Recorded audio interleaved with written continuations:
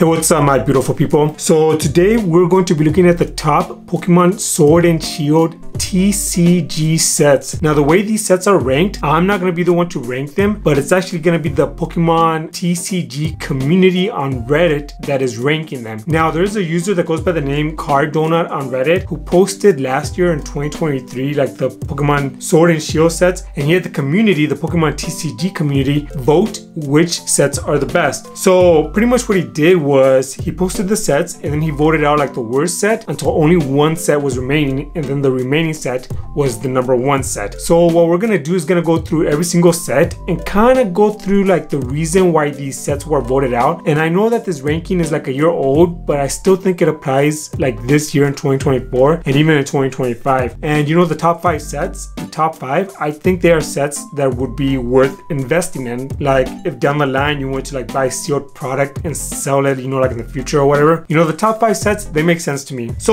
anyway, let's go through them. There's a lot of Sword and Shield sets. Um, there's more than 15, man. There is 17 Pokemon Sword and Shield sets. That's a lot. So what I'm gonna do is, for the bottom seven, I'm just gonna name them out because I don't wanna go through every single, like every single one, especially for the bottom seven. Okay, so in last place, the first one that got voted out was Rebel Clash, followed by Champions Path, followed by Darkness Ablaze, and then base set, and then Pokemon Go, followed by Battle Styles, followed by Vivid Voltage. So those sets were the first ones to get voted out, with Rebel Clash being the first one and Vivid Voltage being the seventh one. The reasons they got voted out is because, you know, they didn't really have like a popular Pokemon in those sets, or like the chase cards didn't really have a good art, like the art wasn't that appealing, or if they did have good art, it was only like one card. Like if you're gonna open up like this set, there's only like one chase card worth like trying to pull from that set, you know? Like for example, in Darkness Ablaze, the only card worth pulling is the Charizard. And even then, the Charizard isn't even that pretty, you know? Um, for base set,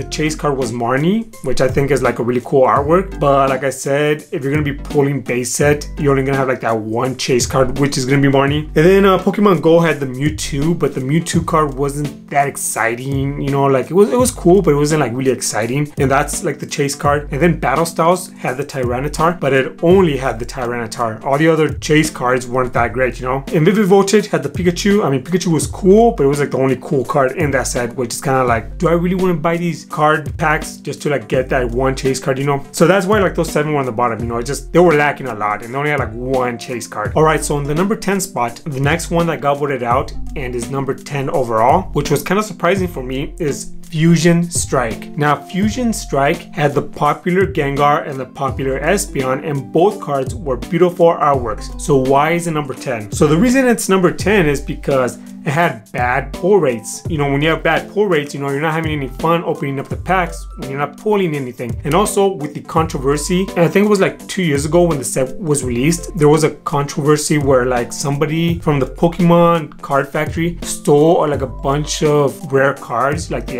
Espeons and like the Gengars. Like they stole a bunch of like the alternate rare cards and just like try to sell them to like card shops. You know, they had like big stacks of like hundred cards, man. It was like insane. Just that whole controversy controversy of like the stolen cards. It kind of gave Fusion Strike like a bad image, but I mean, it does have some good cards, you know. I mean, Gengar I think is really cool. So the next set that got voted out in the number nine set overall, which might be surprising to a lot of you, and it is surprising to me as well, is Evolving Skies. Evolving Skies. So Evolving Skies is obviously the best set of the Sword and Shield era. It's obviously number one, but why did it get voted out? Well, same as Fusion Strike, it had bad pull rates. Like I had terrible, terrible pull rates. Like there's a reason it is nicknamed Evolving Cries because if you buy like a booster box of this set, you might not pull anything at all, man. Like it's kind of like a miserable experience trying to like pull like these cards. Like you end up getting nothing, you know, it's just like miserable to like open, you know, you're not having any fun. Like don't get me wrong, you know, Evolving Skies has like the most, some of the most amazing alternative art cards, you know, like the Moonbreon, you know, you got like the, like the Espeon, you know, Sylveon, Glaceon, you know, like all these amazing evolutions, you know, Rayquaza is in there too. Amazing alternate rare cards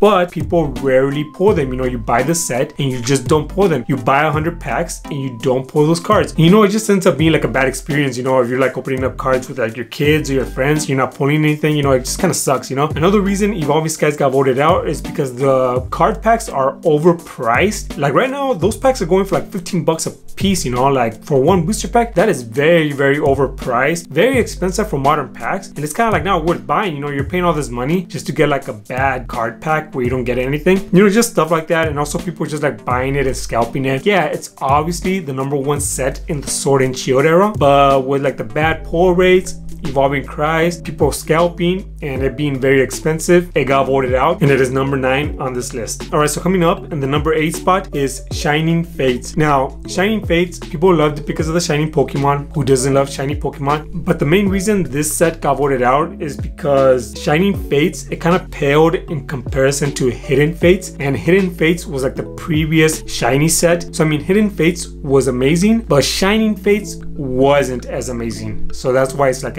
eight spot. Number seven, Chilling Reign. So Chilling Reign, it was an amazing set. It also has some good alternative artworks, but the main reason this one got voted out is because the pull rates weren't as great as the following sets, like the top sets. So I mean, the pull rates were there, but they weren't that great. When it comes to pull rates, I think Evolving Skies is probably like the worst set to buy because you're not gonna pull anything. Chilling Reign, the pull rates were kind of bad, but they weren't as bad as Evolving Skies okay? So number six number six spot is celebrations. Now celebrations was kind of mixed it kind of had mixed feelings but overwhelmingly like the positive feedback with celebrations was that it had a bunch of like beautiful holographic cards and it introduced like these older pokemon card arts you know like the original base set charizard blastoise and venusaur. It brought them back into the modern time with upgraded holos and they were beautiful artworks you know? It was nostalgic. People loved it and people had fun opening up celebrations because you know know, every time you open up a celebrations pack, you're guaranteed to get a bunch of holos. So I mean, it was fun in that aspect. And the reason it got voted out is because the other side, the other side of like the people, like there was people that enjoyed it, but the other side of the people that didn't enjoy it said it felt kind of like, um, it felt kind of cheap, you know, like all they did was get a bunch of old art, reprinted it, and it felt like it didn't really bring anything new to the table, you know, which is a bunch of like older cards, and that was about it, you know, just older cards brought into the modern time, but nothing new, you know. So that that's why like some people didn't really like it that much and that's the reason I got the number six spot you know? Yes it was loved but there was a group of people that didn't really love it. So it was in the middle you know it was mixed. So on the number five spot we got astral radiance. So astral radiance had some amazing cards such as the radiant greninja and the palkia alternate art. But this set astral radiance as cool as it was the reason it got voted out is because it wasn't as memorable as the top four sets you know? It came in number five but the top four were way more memorable more than Astral Radiance. So number four, Silver Tempest. So Silver Tempest has the very popular alternate art Lugia. You know, that card was amazing. You know, really good artwork, man. That's definitely the chase card of that set. And also, Silver Tempest brought one of the most dominant decks in the Pokemon TCG. And it's also something that a bunch of people that played the game appreciated that set. So that's why it came in the number four spot. In the number three spot, we got Brilliant Stars. Now, the reason Brilliant Stars came in the number three spot and is in the top three overall is because they had the beautiful Charizard and Arceus alternate art. You know, those cards were amazing. And it also introduced the trainer gallery. And the trainer gallery was really popular among fans because, you know, when you're opening up Brilliant Stars and you're pulling trainer gallery cards, like it's fun, you know, like those cards are amazing. They're full arts, they look beautiful, and it's fun to open up those packs. So that's why Brilliant Stars came in the number three spot and why it is in the top three overall. You know, it's an amazing set and it is a set that is loved by a lot of people and people do have fun opening up these packs. So number two, the second top Pokemon set in the Sword and Shield era is Lost Origin. Now the reason Lost Origin is number two is because it introduced the Giratina alternate art and the Aerodactyl alternate art and both of those cards are really popular and they are very sought after chase cards and also Lost Origin like Brilliant Stars also continued the trainer gallery cards. So when you're opening up Lost Origin and you pull trainer gallery cards, you know, you're having fun with it. Now the reason that Lost Origin beat Brilliant Stars, they were even, you know, like they they they both like were very competitive for like the number two spot. But the reason Lost Origin beat Brilliant Stars is because Lost Origin has better trainer gallery cards. You know, Lost Origin has like the Pikachu's, has the Charizard, and it has like the Gengar. You know, like Lost Origin has better trainer gallery cards than Brilliant Stars, and that's why Lost Origin is number two. And then the number one spot and the set that the Pokemon TCG community on Reddit loves and thinks is the best Pokemon Sword and Shield TCG set overall is Crown Zenith. Now, the reason Crown Zenith is number one and why people love it is for a variety of reasons. So, Crown Zenith replaced the trainer gallery with the Galarian, the Gal, Gal I can't even say it, man. Galarian gallery. And pretty much the difference was is like the trainer gallery was mostly like Pokemon with the trainers, and the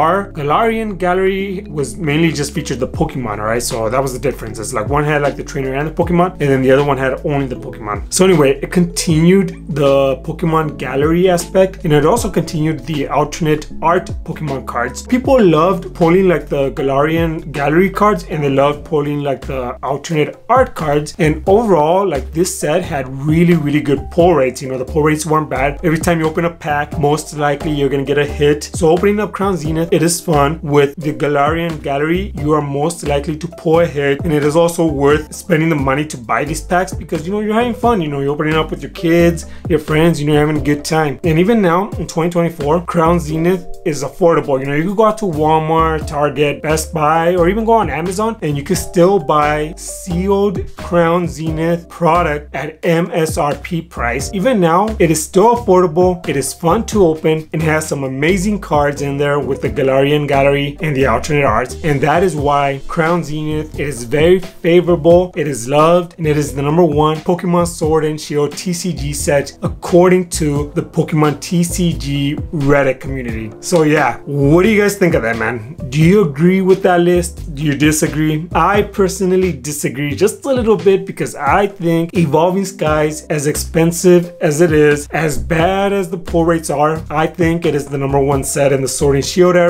You know, those alternate art cards, the evolutions, Rayquaza, Dragonite, those cards are amazing and they are some of the best cards like in the Pokemon TCG right now. So yeah, I think, and a lot of people agree that Evolving Skies should be number one, but I can kind of see why people voted it out because it is expensive and the pull rates just suck, you know. But for investment purposes, if you guys are interested in investing in Pokemon cards, you know, like sealed Pokemon cards, Crown Zenith, you can still buy it at MSRP is an amazing set. And I think Crown Zenith going heavy on that set and buying sealed product, I think it's worth it, man. Like I think in the future that set is gonna go up in price and you know, go up there with like Evolving Skies in price, you know. Like right now, Crown Zenith is going for like $4 a pack, but I can easily see it in the future going for like 15, 20, 25, $30 a pack, you know. Evolving Skies, it is expensive right now, you know, $15 a pack. The booster boxes are almost 700 bucks. I still think it's gonna go up in price, but it's gonna go up in price slower, you know. It's going up, but it's going up slow. I think Crown Zenith, when it does go up in price, it's gonna go up fast when the time comes. But anyway, that's just my opinion. Let me know what you guys think. Do you think Crown Zenith deserves the number one spot, or do you think another set deserves a spot? And do you also think that Evolving Skies deserves the number nine spot, or do you think it should go up in spots. And Fusion Strike, Fusion Strike, I think it should be like in the number five spot. I don't know. That's just my opinion, man. Um, let me know what you guys think. Let me know what you think of the list. And yeah, you know, drop a comment. And if you enjoyed this type of video and you want me to do like more of these types of videos, you know, let me know. Drop a like. But yeah, thanks for watching. And I'll talk to you guys